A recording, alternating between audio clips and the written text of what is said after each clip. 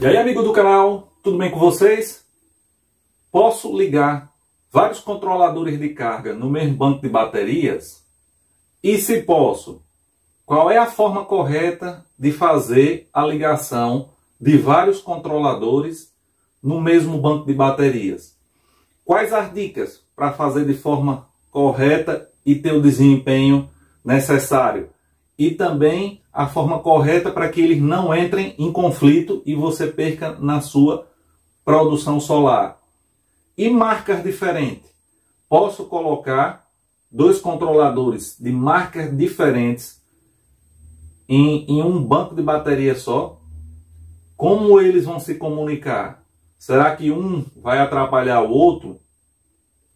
Vamos te responder uma aula explicadinha aqui no quadro. Mas antes, quero te pedir, se inscreve no canal, deixa aquele like, taca, taca, taca, taca o like para ajudar o canal. E não esquece, ativa o sininho para receber as notificações. Também, se você é novo, tá chegando agora, dá uma conferida aqui na galeria do, do nosso canal, nossas videoaulas aí, gratuitas sobre energia solar, sobre montagem de sistema, inversores e tudo mais, como a galera aqui que é inscrito no canal já conhece nossas aulas com tudo, informação beleza de forma gratuita. Agora vamos lá ver como é que a gente faz essa ligação da forma correta e com as dicas. Valeu! Vejam amigos, controladores de carga são iguais, sim, ligados no mesmo banco de baterias. Poder, posso, mas temos que respeitar alguns critérios e configurações. Esses são iguais. E se fosse diferente? Posso também utilizar no mesmo banco?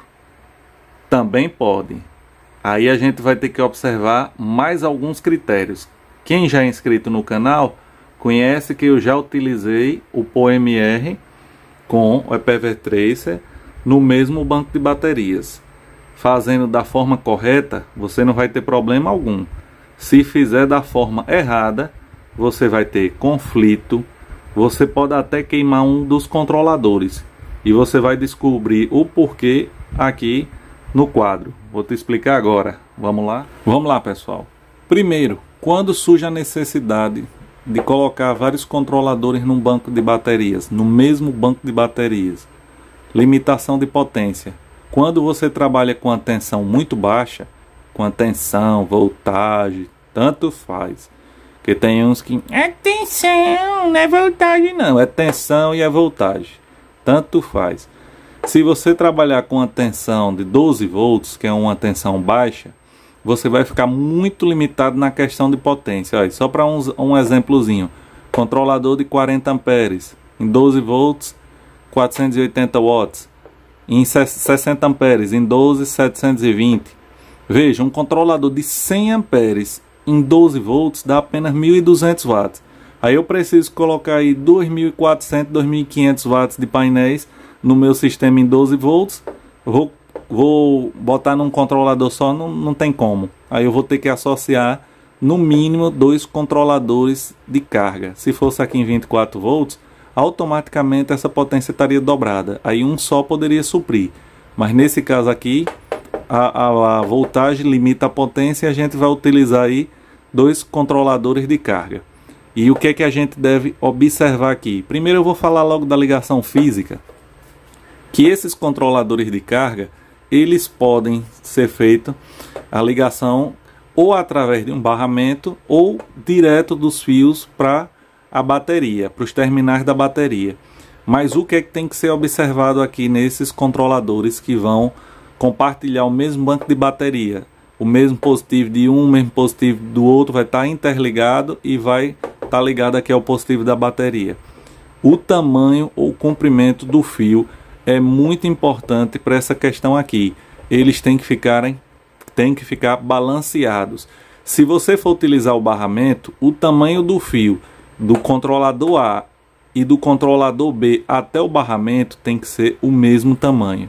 Se você for utilizar direto no banco de baterias, então você vai fazer o corte do fio do B, do controlador B, até a bateria e do controlador A até a bateria, se no caso de não utilizar o barramento, também do mesmo tamanho, para que você não tenha perdas maiores em um controlador do que o outro e um trabalhe forçando mais, enviando mais tensão por causa desse desbalanceamento provocado por perda maior nas conexões.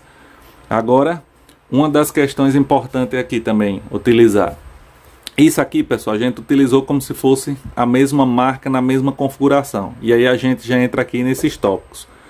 Configuração. As configurações, mesmo sendo da mesma marca, tem que ser iguais, porque a gente às vezes compra o primeiro, configura de um jeito e já liga no banco de baterias. Depois compra o segundo, não vem com a mesma configuração e aí se ligar com configurações de tensão, de recarga, de flutuação, diferentes, com temporização diferentes, aí você vai causar um grande problema, porque um vai estar tá trabalhando mais forçado do que o outro, enviando ou mais corrente ou mais tensão, e aí seu sistema vai ficar desbalanceado, podendo provocar até o dano em um dos controladores.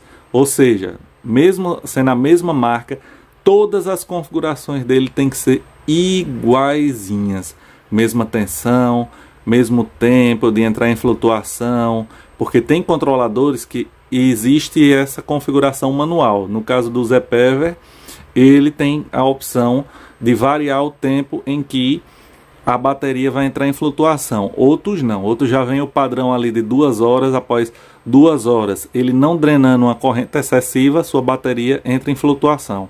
Os tracers, ele vem com a configuração adicional que você pode aí aumentar esse tempo de recarga ou de tensão buster, que chama, que ele vai ficar numa tensão de 14.4 durante mais tempo, durante uma hora a mais do que os outros controladores. E isso no Tracer você tem, algumas marcas não tem. E, e essa configuração tem que ser igual para um e para outro. Aqui eu até já me antecipei, que eu já tinha colocado aqui recarga, flutuação e tempo que tanto para da mesma marca quanto marcas diferentes tem que utilizar a mesma configuração. Agora vamos imaginar aqui o mesmo cenário. Vamos tirar aqui um, vamos botar aqui um PoMR com um tracer. Mesma configuração de fios, vale para eles também. E aí entra uma questão adicional. Na linha da EPEVER, geralmente eles mandam aterrar a, o terminal positivo da bateria e não o negativo junto com a carcaça. Isso é uma configuração deste fabricante. Não sei se para todos os modelos, mas para os primeiros modelos Tracer e acho que da linha Tri, Tritron, Trion também a mesma coisa. Já o POMR, se você aterrar a carcaça, a gente até já falou isso aqui no canal, como ele tem uma diferença de potencial entre a carcaça e o negativo, você vai danificar. Então, qual é a solução quando você utiliza o é o controlador de carga que pede um aterramento na, no positivo da bateria e um controlador que o aterramento é no negativo, não é nem na carcaça, é no negativo. Você vai ter que definir o aterramento padrão você não vai poder fazer um aterramento do positivo para esse e um aterramento do negativo para esse. Até porque vai dar o conflito. Eles vão se encontrar nesse terra comum. Você vai ter que definir qual aterramento que você vai utilizar. Eu prefiro sempre o aterramento do terminal negativo da bateria. Se eu utilizar como eu utilizei já é, linha da EPEVER com o POMR, o aterramento era feito sempre no negativo, porque você tem o inversor, que também solicita aí um aterramento na carcaça e no negativo, e aí evita conflito com outros aparelhos ligados no sistema, como o aterramento do negativo aí do, do, do, do DPS que vai direto. Então, por padrão, escolha um aterramento, de preferência o negativo, mesmo utilizando algum inversor da linha da EPEVER. Só para finalizar, revisãozinha rápida, ou da mesma marca, com marca diferente, mesma tensão de flutuação 13.8, 13.8. de recarga tem que ser a mesma flutua a mesma tensão, 14.4, 14.4. Se for utilizar controladores de marca diferente, observar no manual o tempo de tensão de recarga, que geralmente são duas horas, e em algumas linhas que vão até 3. Então, configurar essa linha que vai até 3 para ficar duas horas o tempo padrão do outro controlador. Porque senão, após duas horas, esse aqui vai entrar em flutuação 13.8 e esse aqui vai manter a tensão de recarga alta, que é o 14.4, e aí você já vai ter um desbalanceamento de tensão enviada, fazendo um trabalhar mais forçado do que o outro. Beleza? E aí a gente finaliza nossas dicas e a forma correta de ligar controladores de carga de marcas iguais e de marcas diferentes, observando os critérios de configuração, de aterramento e de soma de potência. Valeu!